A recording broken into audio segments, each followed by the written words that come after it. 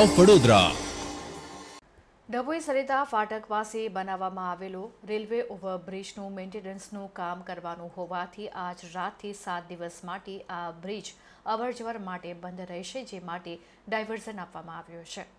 Dabhoi Sarita railway ફાટક ખાતે પ્રથમ સાઈડનો ઓવરબ્રિજ બની ગયા બાદ આ રોડ દિવાળીના સમયે ખુલ્લો મૂકવામાં આવ્યો હતો.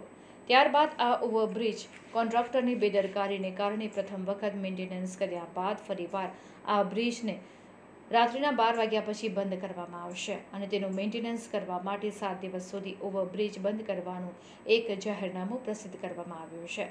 ત્યારે કોન્ટ્રાક્ટર દ્વારા બેદરકારી રાખવામાં આવતી હોય તેમજ આ માર્ગ પરથી ચોવીસ કલાક વાહનોની અવરજવર રહેતી હોય છે, ત્યારે વડોદરાથી Dabhoi Rajpipla Statue of Unity જવા માટે નડા ગામથી ડાયવર્ઝન આપવામાં આવ્યું છે, જે વડોદરા જિલ્લા કલેક્ટર શ્રી દ્વારા જાહેરનામું જાહેર કરવામાં આવ્યું હતું.